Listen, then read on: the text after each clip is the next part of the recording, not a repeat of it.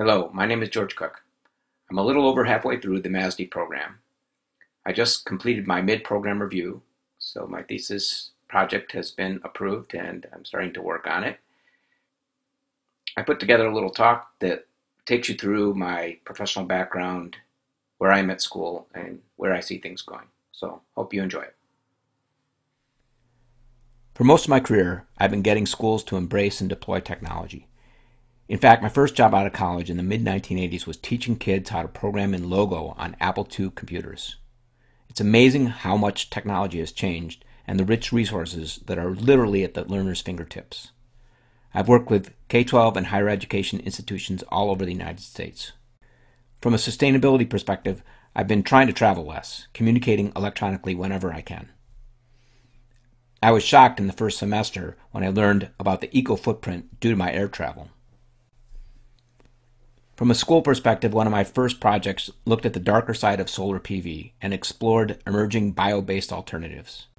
Last semester, I created a co-cycle program that pitched bicycle commuting.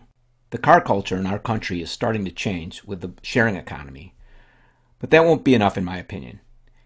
Communities are starting to include cyclers in their design, but we have a long way to go.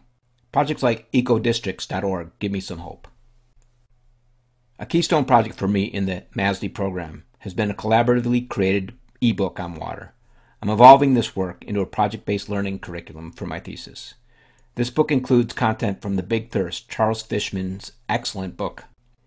In the book, he tells amazing stories, all about water's unique properties and how we take advantage of them.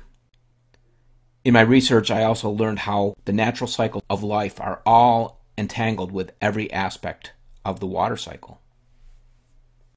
We often take water for granted, but we always depend on it.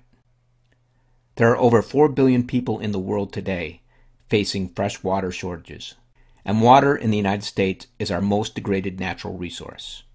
I believe that understanding this water situation is an ideal gateway for engaging learners and communities in sustainability and giving them the motivation to take action. Bigger picture, the ground we've covered in the MASD program sometimes discourages me. The complex spectrum of human activity, social, economic, and environmental, all seem to be headed in the wrong direction. But on the flip side, there are endless possibilities for improvement. Every day I find inspiring people and projects. I'm encouraged by the work of other students and hope that I'll be able to make my own contributions.